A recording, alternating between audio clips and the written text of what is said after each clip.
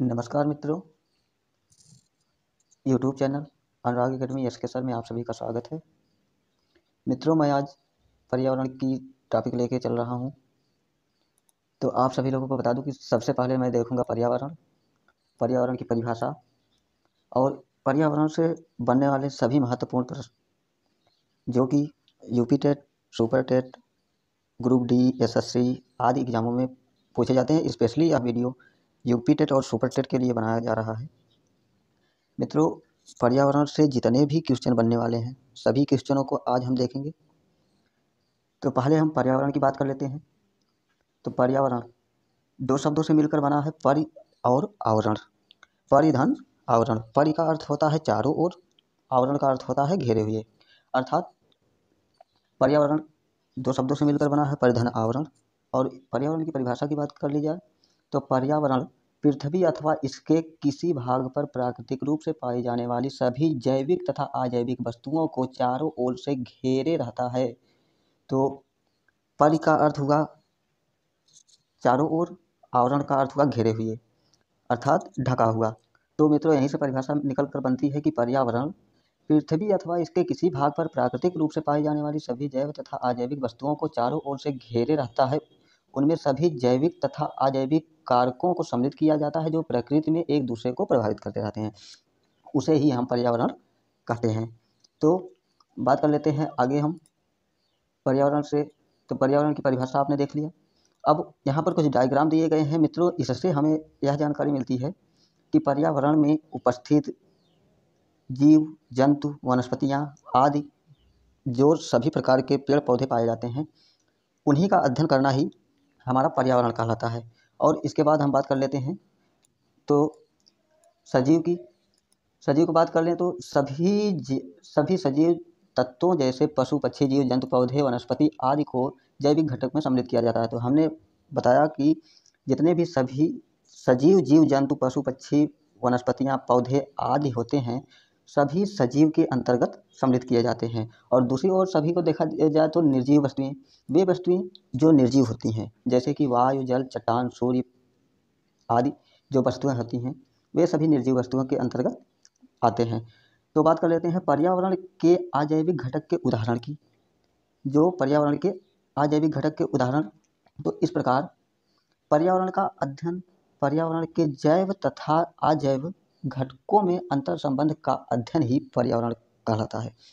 मित्रों, फिर से ध्यान देते हैं कि पर्यावरण का अध्ययन किसे कहते हैं? तो पर्यावरण के जैविक तथा अजैविक घटकों में अंतर संबंधों का अध्ययन ही पर्यावरण का अध्ययन कहलाता है। अब आगे बढ़ते हैं थोड़ा सा। इसके आगे देखते हैं। पर्यावरण से जो हमारे यूपी टेट, सुपर टेट में क्वेश्चन बनने वाले होते हैं उनकी बात कर लेते हैं तो पहले हम देख लेते हैं पर्यावरण। तो पर्यावरण को हमने ऊपर से देख कर आया कि परिधन आवरण, दो शब्दों से मिलकर पर्यावरण बना है। तो बात कर लेते हैं इंपॉर्टेंट प्रश्न की। तो इंपॉर्टेंट प्रश्न में क्या है कि प्रथम पर्यावरण दिवस, प्रथम पर्यावरण दिवस उन्नीस सौ चौहत्तर में मनाया गया था। मित्रों, यह प्रश्न कई बार यू पी और सुपर टीईटी में कई बार पूछे जाते हैं कि प्रथम पर्यावरण दिवस कब मनाया गया। तो उन्नीस सौ चौहत्तर नाइनटीन सेवेंटी फोर में मनाया गया था। उसके बाद बात कर लेते हैं प्रथम अंतर्राष्ट्रीय पर्यावरण सम्मेलन में एक पर्यावरणीय संस्था, संयुक्त राष्ट्र पर्यावरण कार्यक्रम यू एन ई पी की स्थापना किया गया, जिसका मुख्यालय नैरोबी, केन्या में है। मित्रों, यहाँ पर बात कर लेते हैं थोड़ा सा यू एन ई पी यह क्या है? तो संयुक्त राष्ट्र पर्यावरण कार्यक्रम, अर्थात यूनियन नेशन इन्वायरमेंट प्रोजेक्ट, संयुक्त राष्ट्र पर्यावरण कार्यक्रम। और यहाँ पर, यह बता दूँ मित्रों की जो संयुक्त राष्ट्र पर्यावरण कार्यक्रम, यू एन ई पी की स्थापना किया गया था तो वह नैरोबी, केन्या में किया गया था, और इसका मुख्यालय नैरोबी, केन्या है। अब बात कर लेते हैं अगले प्रश्न की। अगले प्रश्न में देख लेते हैं हम। तो प्रथम पृथ्वी सम्मेलन की बात कर लेते हैं। तो प्रथम पृथ्वी सम्मेलन को ही रियो डी जेनेरियो के नाम से भी जाना जाता है, जो कि ब्राज़ील में आयोजित किया गया था, और वह कब किया गया था? तो 1992 में, उन्नीस सौ बानवे में। यह प्रथम पृथ्वी सम्मेलन आयोजित किया गया था। और इसकी जो धारणा थी, यह किस लिए बनाया गया था तो यह सतत विकास या धार्मिक विकास को बढ़ावा देने के लिए बनाया गया था। उसके बाद बात कर लेते हैं हम पारिस्थितिकी, अर्थात इकोलॉजी की। तो इकोलॉजी की बात कर लेते हैं। तो इकोलॉजी कहते किसे हैं? तो मित्रों, इकोलॉजी की बात कर लेते हैं हम। इकोलॉजी की बात कर लेते हैं तो इकोलॉजी। इकोलॉजी शब्द ग्रीक भाषा का शब्द है। दोस्तों कभी कभी पूछ लिया जाता है डायरेक्टली कि इकोलॉजी किस भाषा का शब्द है। तो यह ध्यान रखिएगा कि इकोलॉजी ग्रीक भाषा का शब्द है और जिसका शाब्दिक अर्थ, जिसका शाब्दिक अर्थ है जन्म स्थान या निवास स्थान का अध्ययन करना। इकोलॉजी पारिस्थितिकी जिसको बोलते हैं यह ग्रीक भाषा का शब्द है और इसका जो अर्थ होता है वह जन्म स्थान या निवास स्थान का अध्ययन करना ही इकोलॉजी कहलाता है। इसकी परिभाषा भी थोड़ा सा देख लेते हैं, उसके बाद हम आते हैं अगले प्रश्न पर। इसकी परिभाषा की बात कर लेते हैं। तो परिभाषा में देख लेते हैं, जीव और वातावरण के मध्य पारस्परिक संबंधों को अध्ययन करने वाले विज्ञान को पारिस्थितिकी कहते हैं। तो मित्रों, इससे हमें जानकारी प्राप्त हो गई कि पारिस्थितिकी किसे कहते हैं। तो पारिस्थितिकी जीव और वातावरण के मध्य पारस्परिक संबंधों के अध्ययन करने वाले विज्ञान को पारिस्थितिकी कहते हैं। अब हम थोड़ा सा आगे देख लेते हैं, ऊपर ऊपर देख लेते हैं तो इकोलॉजी। इकोलॉजी शब्द की बात की जाए तो इकोलॉजी शब्द सर्वप्रथम अर्नेस्ट हेकल ने अठारह सौ उनहत्तर में दिया था 1869 में। और यह प्रश्न मित्रों कई बार पूछा गया है कि इकोलॉजी शब्द को सर्वप्रथम किसने दिया है? तो अर्नेस्ट हेकल ने दिया है। कब दिया है? तो अठारह सौ उनहत्तर में दिया है। और आगे बढ़ते हैं हम थोड़ा सा। तो देखते हैं यहाँ पर पारिस्थितिकी तंत्र। अभी हमने पढ़ा पारिस्थितिकी। अब पढ़ेंगे पारिस्थितिकी तंत्र, अर्थात इकोलॉजी सिस्टम इकोसिस्टम ठीक? उसके बाद पारिस्थितिकी तंत्र में बात कर लेते हैं सबसे पहले पर्यावरण की। तो सबसे पहले बात करते हैं पर्यावरण। तो पर्यावरण, हमने बताया कि जैविक तथा अजैविक दो घटकों से मिलकर बना है। तो पर्यावरण के दो घटक होते हैं। नंबर एक जैविक घटक नंबर दो, अजैविक घटक। जैविक घटक, जैसे कि बात कर लिया जाए जैविक घटक के बारे में तो जितने भी सजीव जीव, जंतु, पशु, पक्षी आदि होते हैं, वे सभी जैविक घटक के अंतर्गत आते हैं। और अजैविक की बात कर लिया जाए तो वातावरण में जितने भी निर्जीव वस्तुएँ होती हैं, घर, मकान और नदी, पर्वत, झील आदि, वे सभी अजैविक घटक के अंतर्गत आते हैं। अब इसकी परिभाषा थोड़ा सा देख लेते हैं। परिभाषा देख लेते हैं, उसके बाद आगे हम बढ़ते हैं। किसी निश्चित क्षेत्र, किसी निश्चित क्षेत्र में पाए जाने वाले जीव और वातावरण के मध्य पारस्परिक संबंध पाया जाता है। इसी पारस्परिक संबंध को ही पारिस्थितिक तंत्र कहते हैं। इसके पहले हमने परिभाषा बताया मित्रों कि पारिस्थितिक तंत्र किसे कहते हैं। इसके पहले बताया कि पारिस्थितिकी किसे कहते हैं। अब ये परिभाषा पारिस्थितिक तंत्र की है। किसी निश्चित क्षेत्र में पाए जाने वाले जीव और वातावरण के मध्य पारस्परिक संबंध जो पाया जाता है, इसी पारस्परिक संबंध को ही पारिस्थितिक तंत्र कहते हैं। अब पारिस्थितिक तंत्र की बात आ गई तो पारिस्थितिक तंत्र से जो पहला क्वेश्चन बनता है, वह क्या बनता है? तो यह बनता है कि पारिस्थितिक तंत्र शब्द का सर्वप्रथम 1935 में ए जी टंसले ने दिया था। यह क्वेश्चन बनता है कि पारिस्थितिक तंत्र शब्द जो है, वह किसके द्वारा और कब दिया गया था? तो ए जी टेंसले द्वारा 1935 में दिया गया था। और इसके बाद बात कर लेते हैं तो पारिस्थितिक तंत्र का जनक, पारिस्थितिक तंत्र का जनक ए जी टेंसले उसके बाद हम अगले क्वेश्चन पर बढ़ते हैं। अगले क्वेश्चन पर बढ़ते हैं, उसके बाद देखते हैं। पारिस्थितिक तंत्र से संबंधित महत्वपूर्ण तथ्य। पारिस्थितिक तंत्र से संबंधित महत्वपूर्ण तथ्य। कि पारिस्थितिक तंत्र से हमारे एग्जामों में कौन कौन से प्रश्न बनाए जा सकते हैं और कैसे प्रश्न बनाए जा सकते हैं। तो मित्रों, पहला देखते हैं कि सबसे बड़ा बड़ा पारिस्थितिक तंत्र, सबसे बड़े पारिस्थितिक तंत्र की बात कर लिया जाए तो वह क्या है? समुद्र या महासागर। सबसे बड़े पारिस्थितिक तंत्र की बात हो रही मित्रों, ध्यान दीजिएगा, यह पृथ्वी पर या स्थायी रूप से ऐसी कुछ बात नहीं की गई है, यह सबसे बड़ा पारिस्थितिक तंत्र है। सबसे बड़ा पारिस्थितिक तंत्र समुद्र या महासागर है। उसके बाद बात कर लेते हैं कि पृथ्वी पर पाया जाने वाला सबसे स्थायी पारिस्थितिक तंत्र की बात कर लिया जाए तो स्थायी रूप से भी अगर बात किया जाए तो समुद्र या महासागर की ही बात किया जाएगा। जैसे कि सबसे बड़ा पारिस्थितिक तंत्र समुद्र या महासागर है, और पृथ्वी पर पाया जाने वाला सबसे स्थायी पारिस्थितिक तंत्र की बात कर ली जाए तो समुद्र या महासागर ही है। अब अगले क्वेश्चन पर पढ़ते हैं कि पृथ्वी पर पाए जाने वाले सबसे विक्षुब्ध वन पर्णपाती, पृथ्वी पर पाए जाने वाले सबसे विक्षुब्ध वन, सबसे विक्षुब्ध वन की बात कर ली जाए तो वह पर्णपाती वन होता है। पृथ्वी पर पाए जाने वाले सबसे विक्षुब्ध वन पर्णपाती वन होते हैं और स्थल खंड पर, दोस्तों, यह ध्यान में रखिएगा कि सबसे बड़ा पारिस्थितिक तंत्र समुद्र या महासागर और पृथ्वी पर पाया जाने वाला सबसे स्थायी पारिस्थितिक तंत्र समुद्र या महासागर ही है। लेकिन अगर बात की जाए स्थल खंड स्थल खंड पर पाया जाने वाला सबसे बड़ा पारिस्थितिक तंत्र तो वह मित्रों होगा वनीय पारिस्थितिक तंत्र। वनों का पारिस्थितिक तंत्र जो होता है, वह स्थल खंड पर या ज़मीन पर पाया जाने वाला सबसे बड़ा पारिस्थितिक तंत्र होता है। उसके बाद बात कर लेते हैं अगले। क्वेश्चन की तो सर्वाधिक उत्पादकता वाला पारिस्थितिक तंत्र यह क्वेश्चन बार बार रिपीट होता है कि सबसे अधिक सबसे अधिक उत्पादकता वाला पारिस्थितिक तंत्र वह क्या है? विषुवत रेखीय पारिस्थितिक तंत्र है। विषुवत रेखीय पारिस्थितिक तंत्र है, जिसे भूमध्य रेखी पारिस्थितिक तंत्र या उष्णकटिबंधीय वर्षा वन क्षेत्र के नाम से भी जाना जाता है। मित्रों, यह ध्यान दीजिएगा कि स्थल खंड पर पाया जाने वाला सबसे बड़ा पारिस्थितिक तंत्र वनी पारिस्थितिक तंत्र और पृथ्वी पर पाया जाने वाला सबसे बड़ा स्थायी पारिस्थितिक तंत्र समुद्र या महासागर है। अब बढ़ते हैं अगले क्वेश्चन पर। अगले क्वेश्चन पर देख लेते हैं सिक्स नंबर न्यूनतम उत्पादकता वाली, अभी बात हुई सर्वाधिक उत्पादकता की तो अब बात कर लेते हैं न्यूनतम उत्पादकता की। तो न्यूनतम उत्पादकता वाले पारिस्थितिक तंत्र, ध्रुवीय क्षेत्र। जो न्यूनतम उत्पादकता वाले होते हैं, ध्रुवीय क्षेत्र होते हैं, जैसे कि बात कर लिया जाए कि यह हमारी पृथ्वी है। और यहाँ से मित्रों, ए भाग और ए भाग। दो क्षेत्र हैं। इसे हम बोलते हैं क्या? आर्कटिक क्षेत्र और इसको बोलते हैं अंटार्कटिक क्षेत्र। तो ये जो ध्रुवीय क्षेत्र होते हैं ये जो ध्रुवीय क्षेत्र होते हैं, सबसे कम उत्पादकता होती है यहाँ पर। तो उसी की बात की गई है यहाँ पर कि सबसे कम उत्पादकता की बात की जाए तो क्या है? ध्रुवीय क्षेत्र, आर्कटिक क्षेत्र। और बात कर ली जाए सर्वाधिक जैव भार या बायोमास वाला पार्थिक तंत्र। सर्वाधिक जैव भार या बायोमास वाला पारिस्थितिक तंत्र तो वह उष्णकटिबंधीय वर्षा क्षेत्र, उष्णकटिबंधीय वर्षा क्षेत्र है, जहाँ पर सर्वाधिक जैव भार या बायोमास वाला पारिस्थितिक तंत्र पाया जाता है। उसके बाद बात कर लेते हैं कि न्यूनतम जैव भार या बायोमास वाला पारिस्थितिक तंत्र। यहाँ पर हमने देखा कि सर्वाधिक, सबसे अधिक जैव भार बायोमास वाला पारिस्थितिक तंत्र क्या है? उष्णकटिबंधीय वर्षा क्षेत्र है, और सबसे न्यूनतम जैव भार या बायोमास वाला पारिस्थितिक तंत्र की बात कर लिया जाए तो ध्रुवीय मतलब आर्क अंटार्कटिका और आर्कटिक में सबसे कम पाए जाते हैं। अब बात कर लेते हैं अगले प्रश्न पर। बड़ा कृत्रिम कृत्रिम का अर्थ होता है कि जो मानव द्वारा निर्मित हो, जो प्रकृति द्वारा नहीं बनाया गया हो, मानव द्वारा बनाया गया हो।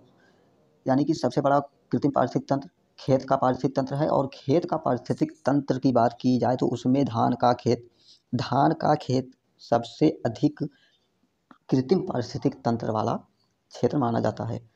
और अगले क्वेश्चन पर पढ़ते हैं तो पार्थिव तंत्र का आतंकवाद। अब मित्रों, यह क्वेश्चन बार बार पूछा जाता है कि पार्थिव तंत्र का आतंकवाद किसे कहा जाता है? तो यूके लिप्टस यूके लिप्टस को कहा जाता है। यूके लिप्टस यह एक ऑस्ट्रेलियाई वृक्ष है, जो कि मूलतः ऑस्ट्रेलिया में ही पाया जाता है। यूके लिप्टस इसे पार्थिव तंत्र का आतंकवादी कहा जाता है। अगर बात कर लेते हैं नेक्स्ट क्वेश्चन की तो पार्थिव तंत्र का मित्र, अभी मित्रों, यहाँ पर देखा गया कि आतंकवादी किसी का आतंकवादी है तो किसी का तो मित्र भी कोई होगा। तो इसके बाद बात कर लेते हैं पार्थिव तंत्र के मित्र की। तो पार्थिव तंत्र के मित्र की बात की जाए तो पीपल और तुलसी, पीपल और तुलसी को पारिस्थितिक तंत्र का मित्र कहा जाता है। और अगले क्वेश्चन पर बढ़ने बढ़ते हैं तो देख लेते हैं बंगाल का शत्रु। बंगाल का शत्रु किसे कहा जाता है? मित्रों, यह यू पी का अगर बात की जाए तो मोस्ट फेवरेट क्वेश्चन है कि बंगाल का शत्रु किसे कहा जाता है? तो जलकुंभी को कहा जाता है। अब बात कर लेते हैं अगले टॉपिक की तो देख लेते हैं कि पारिस्थितिक तंत्र के प्रकार। पारिस्थितिक तंत्र के प्रकार। पारिस्थितिक तंत्र दो प्रकार के होते हैं। पारिस्थितिक तंत्र दो प्रकार के होते हैं। नंबर एक, प्राकृतिक पारिस्थितिक तंत्र। नंबर दो, कृत्रिम पारिस्थितिक तंत्र। हमने बताया प्राकृतिक और कृत्रिम।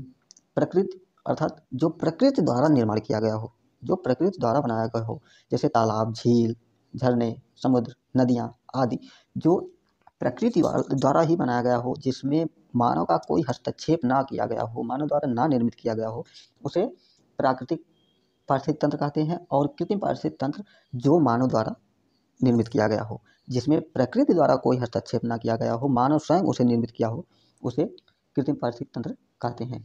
अगर बात कर लेते हैं, प्राकृतिक पारिस्थितिक तंत्र जैसे तालाब झील, नदी समुद्र आदि हो गए। और कृत्रिम की बात की जाए तो जैसे कि खेत हो गए, एक्वेरियम हो गए। अब सबसे फ़र्स्ट पे हम देख लेते हैं प्राकृतिक पारिस्थितिक तंत्र के बारे में। तो ऐसा पारिस्थितिक तंत्र जिसका निर्माण स्वतः प्रकृति ने किया हो, उसे प्राकृतिक पारिस्थितिक तंत्र कहते हैं। मित्रों, हमने बताया कि जो प्रकृति द्वारा बनाया गया हो तो प्रकृति द्वारा निर्माण किया गया होता है, ऐसे पारिस्थितिक तंत्र को प्राकृतिक पारिस्थितिक तंत्र कहते हैं। अब उदाहरण की बात कर लेते हैं थोड़ा सा। तो उदाहरण में देखते हैं। प्राकृतिक पारिस्थितिक तंत्र में वनी पारिस्थितिक तंत्र, नदी पारिस्थितिक तंत्र, झील, समुद्र, मरुस्थल, डेल्टा, पर्वत, ध्रुवीय, विश्वतीय पारिस्थितिक तंत्र। जो वन होते हैं, नदी होते हैं, झील, समुद्र, मरुस्थल, डेल्टा, पर्वत, विश्वत जो ध्रुवीय क्षेत्र होते हैं, वे मानव द्वारा निर्मित नहीं किए गए होते हैं। इसलिए ये प्राकृतिक पारिस्थितिक तंत्र हुए। अब बात कर लेते हैं हम सेकंड नंबर पे कृत्रिम पारिस्थितिक तंत्र की। तो कृत्रिम पारिस्थितिक तंत्र में ऐसा पारिस्थितिक तंत्र, ऐसा पारिस्थितिक तंत्र जिसका निर्माण मानव द्वारा हुआ हो या किया गया हो, उसे कृत्रिम पारिस्थितिक तंत्र कहते हैं। तो हम इसका भी उदाहरण देख लेते हैं कि मानव द्वारा कृत्रिम जैसे खेत का पारिस्थितिक तंत्र। हमने आपको ऊपर ही बताया कि खेत का पारिस्थितिक तंत्र, जो खेत का पारिस्थितिक तंत्र होता है, उसमें धान का खेत, धान का खेत सर्वोपरि होता है। उसके बाद चने का खेत, गन्ने का खेत, बाग बगीचा नहर, कुआँ, इक्वारे, इक्वेरियम, पार्थिव तंत्र, अंतरिक्ष में कृषि का पार्थिव तंत्र, जो इत्यादि, ये सभी घटक हैं। ये सभी मित्रों, इतने कृत्रिम पार्थिव तंत्र हैं, जो कि मानव द्वारा निर्मित हैं। इसलिए इन्हें कृत्रिम पारिस्थितिक तंत्र कहा जाता है। अब बात कर लेते हैं पारिस्थितिक तंत्र के घटक की तो कृत्रिम पारिस्थितिक तंत्र के पारिस्थितिक तंत्र के तीन घटक हैं। नंबर एक जैविक घटक, अजैविक घटक, ऊर्जा घटक। और जैविक, अजैविक आपको मैंने बता ही दिया कि जैविक घटक और अजैविक घटक, जैविक घटक वे सभी जीव जंतु जो सजीव होते हैं, वे सभी जैविक घटक के रूप में सम्मिलित होते हैं। और अजैविक घटक वे सभी निर्जीव वस्तुएँ, घर, मकान, सड़क इत्यादि पर्वत, पठार, जो सभी निर्जीव वस्तुएँ होती हैं, वे अजैविक घटक के रूप में सम्मिलित होते हैं। अब बात कर लेते हैं सबसे पहले जैविक घटक की। तो जैविक घटक जैविक घटक में तीन श्रेणी होती है। नंबर एक, उत्पादक। नंबर दो, उपभोक्ता। नंबर तीन, अपघटक। अब उत्पादक की बात कर लिया जाए तो जितने भी हरे पेड़ पौधे, वनस्पतियाँ और शैवाल होते हैं, अर्थात हम कह लें कि वे सभी उत्पादक, वे सभी पौधे जीव जंतु वनस्पतियाँ जो अपने भोजन के लिए स्वयं पर निर्भर रहते हैं अर्थात वे सभी जीव जंतु पेड़ पौधे वनस्पतियाँ, जो अपने भोजन के लिए किसी वर्ग पर आश्रित नहीं होते हैं, वे सभी उत्पादक की श्रेणी में आते हैं। और उपभोक्ता की बात कर ली जाए तो जीव जंतु जो होते हैं, जैसे कि जो भी जीव जंतु होते हैं, किसी न किसी के ऊपर निर्भर होता है। तो उपभोक्ता अर्थात जो वह अपने भोजन के लिए किसी दूसरे वर्ग पर निर्भर रहे उसे उपभोक्ता कहते हैं। और अपघटक की बात कर लें तो जीवाणु और कवक। अपघटक जो अपघटक से एक प्रश्न बहुत ही इंपॉर्टेंट है। मित्रों, पूछा जाता है कि प्रकृति का मेहतर या प्रकृति का सफ़ाई कर्मी किसे कहा जाता है?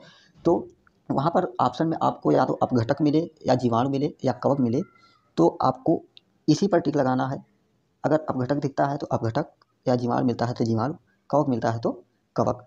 सबसे पहले, उसके बाद बात कर लेते हैं। उत्पादक की। उत्पाद जैविक हो गया। अब बात कर लेते हैं उत्पादक वर्ग की। उत्पादक वर्ग की। उत्पादक वर्ग, ऐसे सजीव जो अपना भोजन स्वयं बना लें एवं अपने भोजन के लिए किसी अन्य वर्ग पर निर्भर ना रहें, उसे उत्पादक वर्ग कहा जाता है। ठीक मित्रों, और इसके बाद देख लेते हैं। नंबर दो। नंबर दो में उत्पादक वर्ग के अंतर्गत सभी हरे पेड़ पौधे एवं शैवालों को सम्मिलित किया जाता है। सभी पेड़ पौधे अपना भोजन प्रकाश संश्लेषण की प्रक्रिया से बनाते हैं। अब बात रह आई प्रकाश संश्लेषण प्रक्रिया की। तो सबसे पहले हम देख लेते हैं कि प्रकाश संश्लेषण प्रकाश संश्लेषण के लिए कितने तत्व महत्वपूर्ण होते हैं। उनकी बात कर लेते हैं, उनकी चर्चा कर लेते हैं। तो सबसे पहले हम बात कर लेते हैं क्लोरोफिल की। जो बेहद इंपॉर्टेंट होता है प्रकाश संश्लेषण की क्रिया के लिए। क्लोरोफिल पत्तियों का रंग हरा होता है। मित्रों, पत्तियों का रंग क्लोरोफिल के कारण ही हरा होता है। तो फ़र्स्ट पे हो गया क्लोरोफिल सेकंड पे हो गया सूर्य का प्रकाश कार्बन डाइऑक्साइड खनिज तत्व और जल। अब बात कर लेते हैं तो क्लोरोफिल मित्रों, यहाँ बता दूँ कि पत्तियाँ, जो पौधे में पत्तियाँ होती हैं, पौधों में भोजन बनता है, वह पत्तियों में ही बनाया जाता है। जैसे कि जड़ों द्वारा जल, खनिज तत्व को अवशोषित किया जाता है और पत्तियों द्वारा सूर्य के प्रकाश को अवशोषित किया जाता है और पत्तियों में ही भोजन बनाया जाता है। जैसे कि सूर्य के प्रकाश की बात कर लिया जाए तो सूर्य के प्रकाश में सर्वाधिक प्रचुर मात्रा में विटामिन डी पाई जाती है। और कार्बन डाइऑक्साइड की बात कर ली जाए तो कार्बन डाइऑक्साइड सभी लोगों को पता होगा कि यह यह एक ग्रीन हाउस गैस है और खनिज तत्व जानते ही हैं और जल जानते ही हैं। अब आगे बढ़ते हैं थोड़ा सा कि महत्वपूर्ण प्रश्न के बारे में इंपॉर्टेंट क्वेश्चन है। जो कि नोट के रूप में दिया गया है। जल जल एवं खनिज, जल एवं खनिज तत्व जड़ों से जाइलम द्वारा पत्तियों तक पहुँचता है। मित्रों, जल एवं खनिज जो तत्व होते हैं, वह पत्तियों तक जाइलम द्वारा पौधों में पहुँचाया जाता है। और उसके बाद बात कर लेते हैं कि पत्तियों में बना भोजन जो होता है, पत्तियों में बना भोजन पौधे के विभिन्न भागों तक फ्लोयम के द्वारा पहुँचाया जाता है, फ्लोयम के द्वारा पहुँचाया जाता है। पत्तियों में बना भोजन स्टार्च के रूप में पौधों में संचित रहता है। यह प्रश्न कई बार पूछा जाता है कि पत्तियों में बना भोजन या पौधों में बना भोजन किस रूप में संचित किया जाता है या किस रूप में पाया जाता है तो वह स्टार्च के रूप में पाया जाता है। उसके बाद बात कर लेते हैं कि प्रकाश की सबसे, प्रकाश की प्रकाश की सबसे, प्रकाश की नहीं, यहाँ पर मित्रों टाइप में थोड़ा सा मिस्टेक है कि प्रकाश संश्लेषण की सबसे तेज अपक्रिया प्रकाश संश्लेषण की सबसे तेज अपक्रिया लाल रंग के प्रकाश में होती है। जैसे कि बात की जाए कि प्रकाश प्रकाश संश्लेषण की जो सूर्य के प्रकाश होते हैं, उसमें सात रंग पाए जाते हैं। बैजनी हप्पी नाला, या फिर बिग्योर के नाम से आप सभी लोगों ने याद रखा होगा। तो उसमें से जो लाल रंग का प्रकाश होता है, उसमें प्रकाश संश्लेषण की क्रिया सर्वाधिक होती है। और न्यूनतम की बात कर ली जाए तो हरे रंग में सबसे कम अक्रिया पाई जाती है। तो मित्रों, हमारा सेशन आज का यहीं तक रहा।